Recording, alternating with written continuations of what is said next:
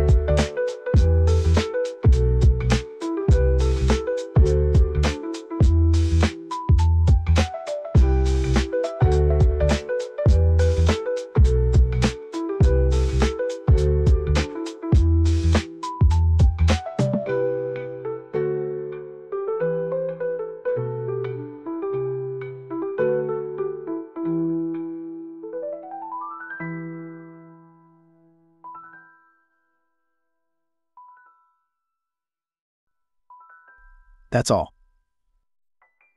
Now, let's move on to adding these jerseys with teams to your game. You have the option to download the zip file from Mega. After that, you can extract it. Next, let's open the file. Once it's open, select all the files and copy them.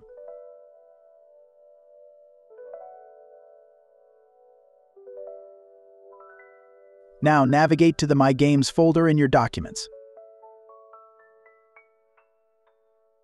Find the Cricket 19 folder and open it.